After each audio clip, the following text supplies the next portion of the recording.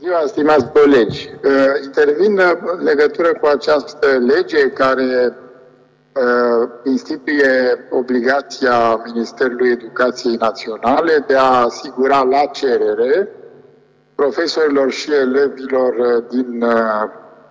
unitățile de învățământ un dispozitiv de acces la biblioteca școlară virtuală și la platforma școlară de e-learning și la alte platforme educaționale agreate de Ministerul Educației. Uh, aș vrea să spun că inițial această inițiativă legislativă pe care uh, a semnat-o și uh, doamna deputat Cristina Iurișniții de la USR, prevedea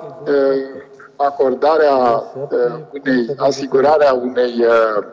unui dispozitiv, unui laptop sau unei tablete uh, acelor elevi care sunt defavorizați, uh, care obțin bursă socială din pricina veniturilor foarte mici uh, pe care le au părinții. Ulterior am venit cu un amendament care a corectat această regulă cerând să se facă calculul după indicele sociale dar uh, cu impact uh, numai pe zona uh, de sărăcie, mai precis pentru acei copii care provin din medii defavorizate. Astăzi avem la vot însă o propunere modificată în Comisia de Învățământ, în care nu se mai acordă o tabletă sau un laptop conectat la internet doar elevilor defavorizați, Uh, cei mai vulnerabili în momentul de față în sistemul de învățământ românesc, ci tuturor elevilor la cerere.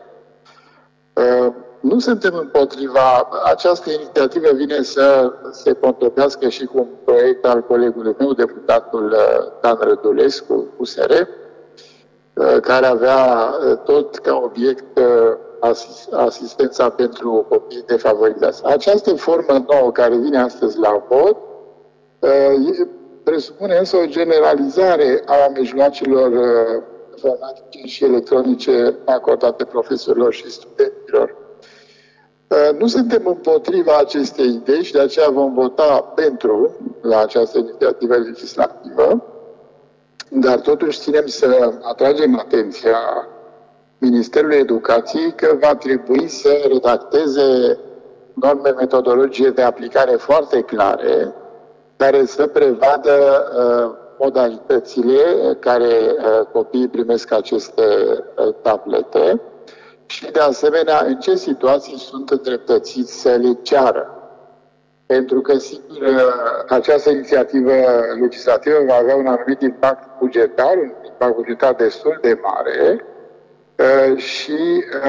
va trebui ca Ministerul să se gândească foarte bine unde dirigează banii. Adică poate nu o să ne așteptăm din primul an uh, ca absolut toți elevii din România să primească o tabletă sau un laptop uh, conectat la internet. De asemenea, va trebui supravegheată această asigurare a acestor echipamente, în sensul ca ele să rămână și echipamentele școlii uh, și să fie returnate la capătul fiecărui an școlar, astfel încât Uh, ele să nu ajung obiect de troc sau de vânzare uh, din partea unor, uh, unora, ci să, să, să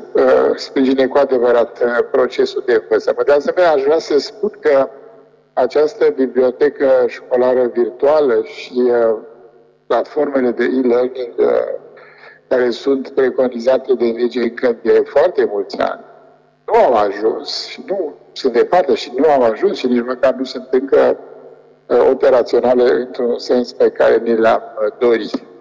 Iată deci că Parlamentul vine acum cu uh, asigurarea și a echipamentului uh, în mod generos în sprijinul elevilor, însă uh, Ministerul este încă cu privire la uh, alimentarea acestor platforme și la funcționalitatea lor. Vă mulțumesc și vă urez o zi bună!